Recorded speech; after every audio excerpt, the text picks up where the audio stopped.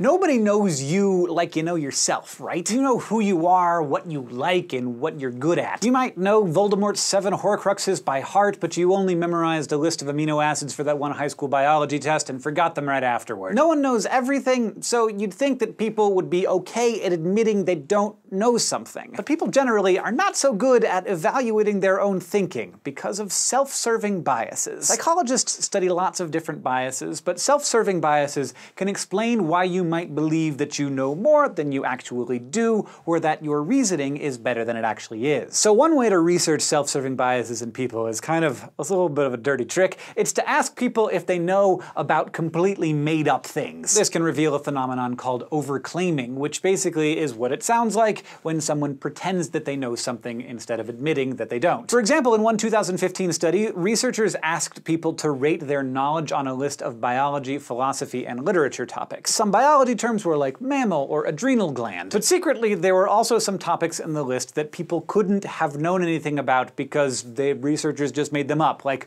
ultralipids or biosexual or retroplex. And instead of admitting ignorance, 110 of the 124 people in the study claimed to know about or be familiar with one of these invented ideas. Not only that, but the more people said they knew about biology in general, the more likely they were to claim that they knew about fake biology terms. Now, it's possible that these results were because of honest mistakes. Somebody read ultralipids and they recognized the word lipid, which is a real term for a fat or oil molecule, even though ultralipids aren't a thing. Or it's possible that the participants didn't have real biology knowledge at all, but still thought they knew this stuff. So to figure out whether people with actual knowledge were still overclaiming, the researchers did a slightly different study involving personal finance topics. Again, they asked participants about a list of specific topics, including things like inflation and Roth IRAs, and secretly mixed in some made-up topics. But this time they paired the list with a personal finance quiz to test actual knowledge. So instead of just checking a box saying that you know what a Roth IRA is, you would have to answer a question to prove it, like whether or not it's tax deferred. And the researchers found that people who actually knew more, who did better on the quiz,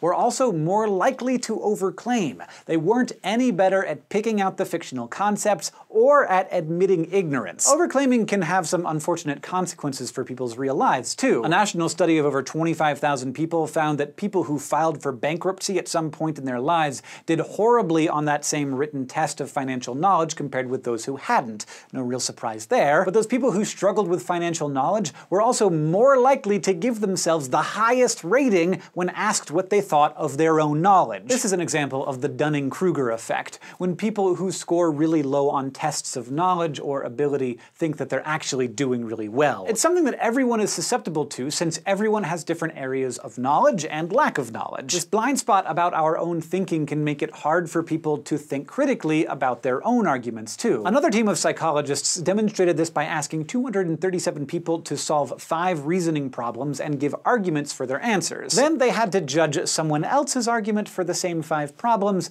and they were given their own answers for comparison. But secretly, for one of the five problems, the researchers swapped the participants' own argument argument for the strangers. The researchers hoped people wouldn't recognize their own argument and would judge it like a stranger's. About half noticed the swap, that they were being asked to evaluate their own argument, but of the 108 participants who didn't, 60 of them rejected their own arguments. And it wasn't just that they were being overly critical of others, people were just plain better at finding flaws in their own reasoning when they thought it was someone else's. This is called the bias blind spot. You can more easily see flaws in others' thinking thinking than you can in your own. Now, it's easy to hear about these psychology studies and conclude that people are dumb. But thanks to self-serving biases, you can't expect everyone to always be aware of the gaps in their knowledge. That also means that you could go a little easier on yourself too. These three words are at the heart of all scientific inquiry.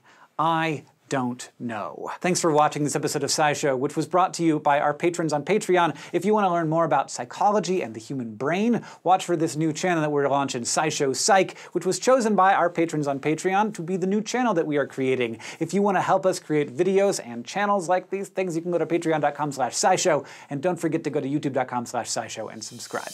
A bowling ball to the head, suddenly Fred Flintstone can't remember who he is, another bonk, and everything goes back to normal. It makes for some pleasant cartoon hijinks, but in reality, concussion-induced amnesia